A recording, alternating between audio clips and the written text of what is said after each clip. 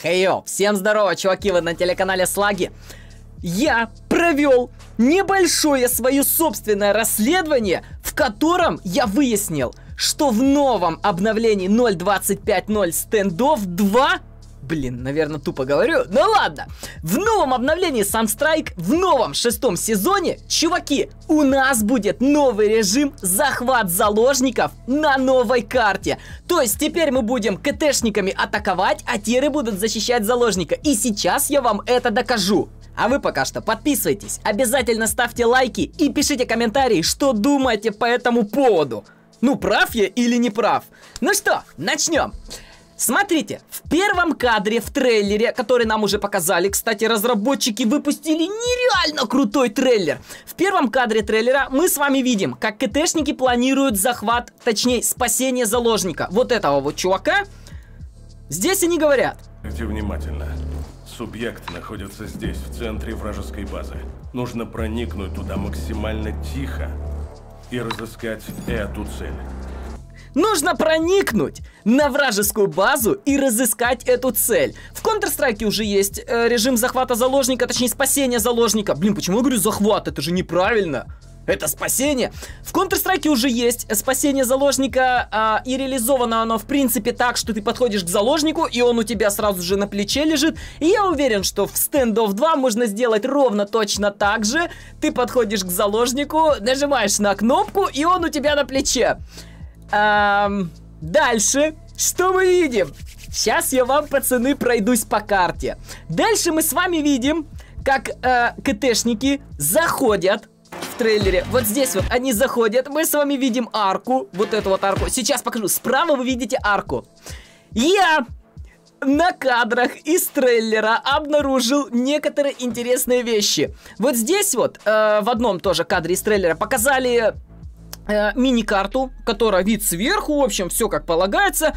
КТшники были, так сказать, уже... Блин, подожди, не, теры были осведомлены о том, что к ним идут, и поэтому дальше в трейлере они поменяют местоположение заложника. Но, пацаны, в трейлере КТшники заходят прямиком в здание. То есть они идут с улицы, вот здесь вот как мы видим, и заходят в какое-то здание.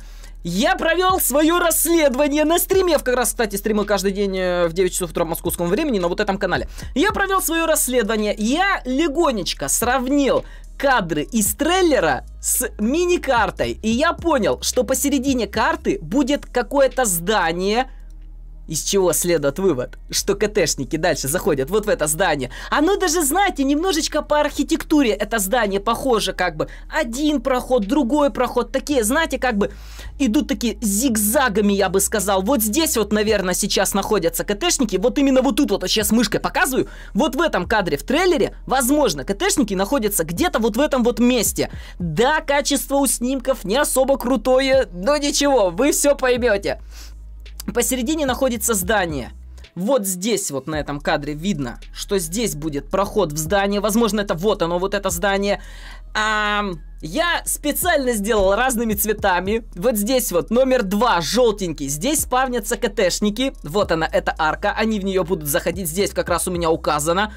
А, Дальше, номер 4, это небольшое ответвление, которое будет идти вот сюда, вот, вот, вот как бы на меня, вот сюда, вот на нас. Ну и, в принципе, пацаны, я считаю, этого достаточно для пруфов, чтобы мы с вами поняли, что будет действительно новый режим с захватом заложника.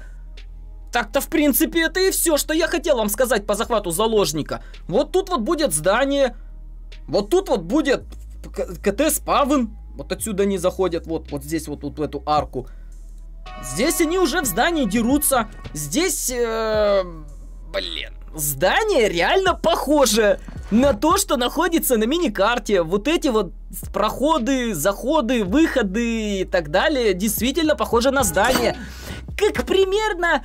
Э, как офисы в Counter-Strike Global Offensive но только у нас в стендофе. Блин, пацаны, по-моему, это охереннейше.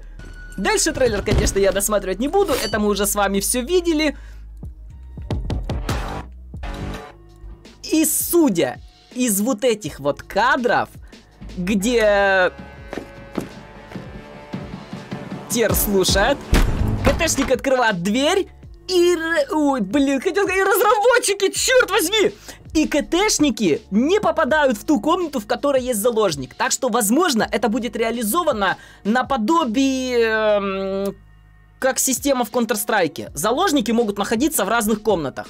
И здесь, возможно, будет реализовано ровно то же самое, поэтому показывают в трейлере, как они заходят в разные комнаты. То есть Тер заходит в свою комнату к своим кентам, говорит, что они уже подготовлены. Здесь должно быть написано «Новые лохи, конечно, КТшники, блин, не угадали с местоположением заложника». А КТшники заходят в совершенно другую комнату. Возможно, в здании, вот в этом вот месте в здании, будет несколько комнат, в которых будут спрятаны, в одной из них будет спрятан заложник, которого нужно вынести. Либо два заложника. Хотя два заложника с трейлером тоже немножечко не сходится. В Counter-Strike просто два, и как бы давайте, чуваки, будем честны. Стендов 2 разработчики Axelbot очень много воруют у Counter-Strike. И это работает. Эскалация украденного Counter-Strike. И она работает хорошо, черт возьми, это офигительный режим.